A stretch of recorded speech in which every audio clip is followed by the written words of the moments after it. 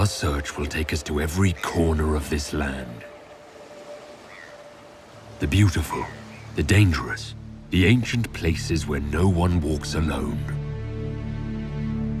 This is the world we're trying to save.